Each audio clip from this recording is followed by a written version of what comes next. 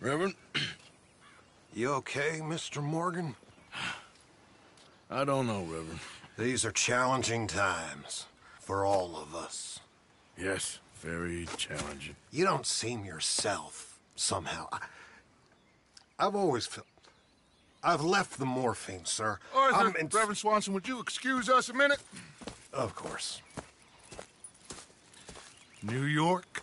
We are gonna go to New York. Now, they have been chasing us south and east and west. We're gonna get a boat, we're gonna get on a river, and we're gonna go north. New York. Then Tahiti, the Fiji Islands, or this place, New Guinea, dancing girls, freedom. But first, we have to make a whole lot of smoke, a whole lot of commotion. And then we disappear. We need more commotion. One score and one whole hell of a lot of noise. We ain't so good at doing scores anymore, Dutch. Are you feeling all right, Arthur? Sure, I'm fine. Pardon me for interrupting. I brought a friend, Arthur. Hello. Hello. Dutch. This is Eagle Flies. His father is a great chief. Charles and I, we, um, Pretended to be mercenaries. Did me a great favor. Dutch van der Linde. How do you do? Not well, sir. Well, I am sorry to hear that. how's your father? Father has confused wisdom with weakness. His people, my people. We've suffered too much. Been lied to too much. Now they've taken our horses. Who? The infantry division posted at Fort Wallace. Why? Colonel Favors is a liar and a murderer. His people won't stop until we're all dead. Without horses, we cannot hunt. Without hunting, we will starve. This is another act of war. I see that. Men have helped me before, and I have money. Put your money away, son. What do you think, Charles? You know I told your father I will not fight over some horses. But I made no such promise. Come along. Yeah. Arthur, we must go with them. To try to stop things from getting out of hand. I guess. Come along. We can get them more horses. I know. I understand Eagle Flies is angry, but I don't see how this will help anything. Especially not with Dutch whipping them up into a frenzy. You got enough folks coming after us without adding armor to the list. Bastards walk all over you? No, you're not.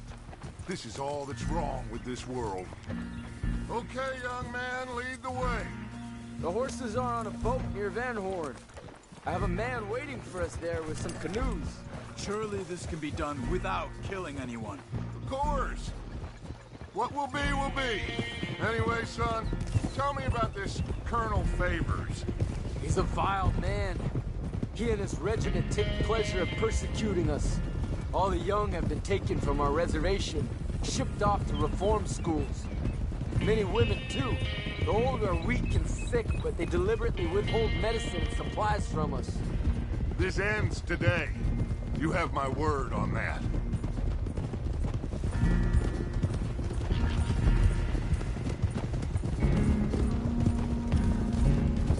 Why are you getting involved in this, Dutch? You know me. We shoot fellers as need shooting. We save fellers as need saving. Feed them as need feeding. Not this again. It's been quite a while since we helped anyone but ourselves, and even you know that. I told you. Noise. We need noise, Arthur. Noise. And faith. I still don't know what that means. Stop questioning and think. Just think for a second. The Pinkertons have had time to reinforce. The civilized world is closing on us. Who knows what else Molly told them? We need to move towards a conclusion. Now.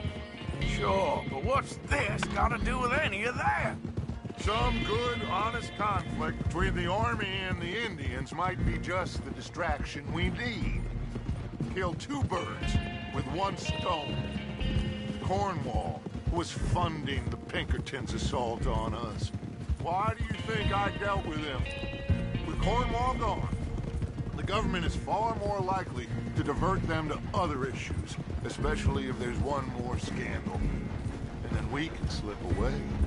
Like I said, we just need that noise and one more score. You know, I went back for the chest I had hidden outside Shady Belle, and we're close, Arthur.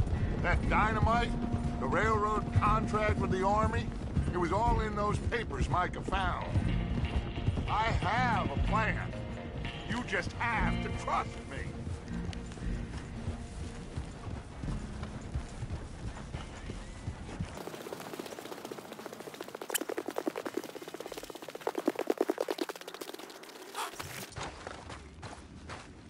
There's Paytah.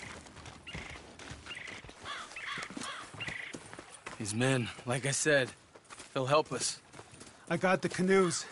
The boat is still moored in the channel. Good. Let's wait until nightfall.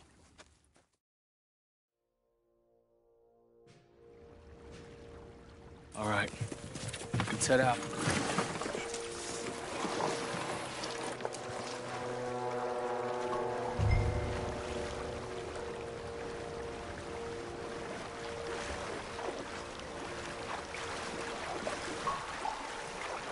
Need to get that boat ashore. I think the best plan is to paddle up there silently, board her. And when we got control, we'll deal with that anchor, float away. We'll be ashore before anybody even knows what happened.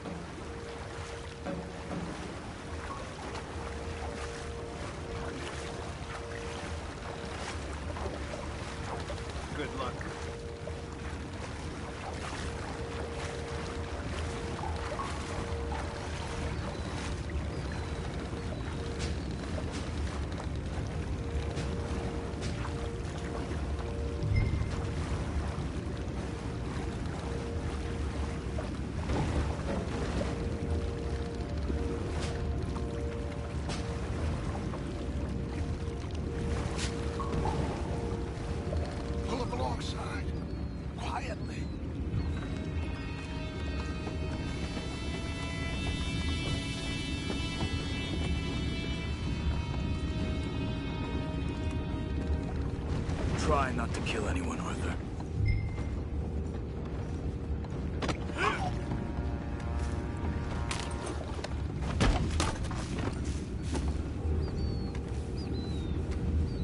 I'm gonna go smoke, all right? Be back in a bit. Oh! No, not again. I had a sniff of a good head all night. I'll be retired in the morning at this rate. Just deal, will you?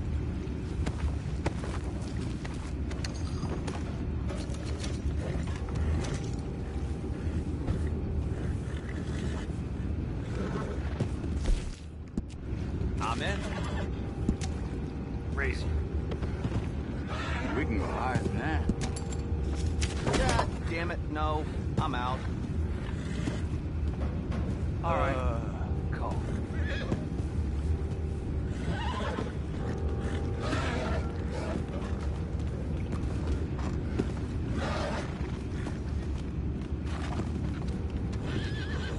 What the hell? Chef, we got a problem here. I found a body! We have attackers on board!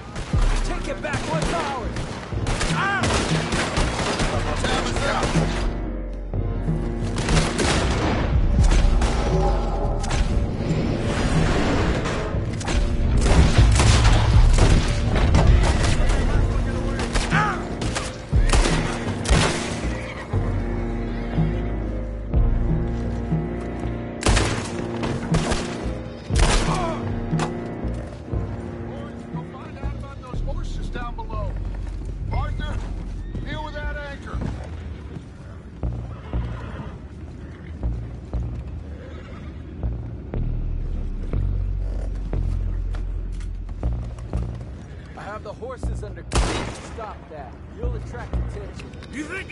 first idea how this anchor works?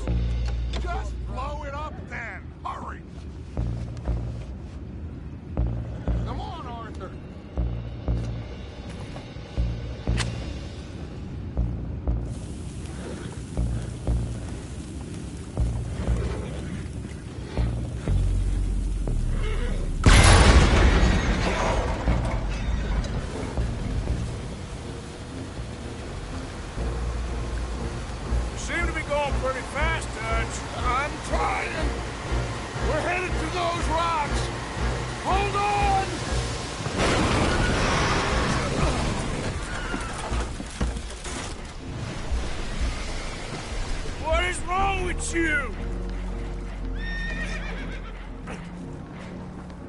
Boys all right back there? Yeah, I think so. But there's a huge hole in the boat.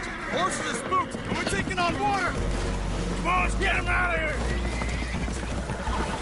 Come on, come on! Well, whatever else is wrong with you, you're quite the best pilot I've ever come across. The horses are confused. We need to round them up. I'll get these four, Arthur. Can you go after the others?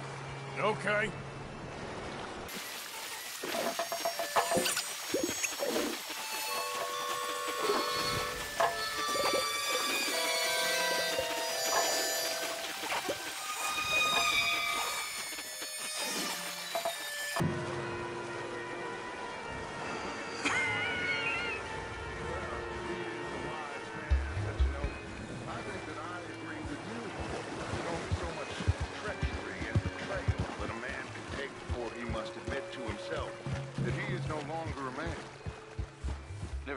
About it in those terms. An old friend of Evelyn Miller like you, I doubt that. Will one of you help me return the horses to my men? Well, Arthur. Oh, Arthur needs to rest. I will. I like you, son. And after the horses, are we gonna wait for the army to come and wreak its revenge? I hope not. Of course we ain't. Now let's go check out that fort of theirs. Is this a good idea? This is the only idea, and it is one that will suit both of our purposes. Fighting the army ain't wise. Stop worrying. Oh, and Sadie told me about Combe. Meet us at Doyle's Tavern in Saint Denis when you can. Shall we go, son? Certainly. We'll start some light reconnaissance out at Fort Wallace, and when Combs dealt with, you come meet us there. We'll set up a good spot for you. I don't know, Dutch. Yeah, well, I do. This is exactly the distraction that we need. Your father said that fighting was an impossible gamble. There's no winning for you in this. Father need not know anything. He'd rather live in ignorance. Come along, Your father would rather you did not do anything so foolish. I said I would stop this from happening. Would you talk to him? Speak with Rains Fall. Yes. Would you? Sure. I'll speak with him. You head on back to camp, check on the others, Dutch's behavior. I understand. Thank you, Arthur.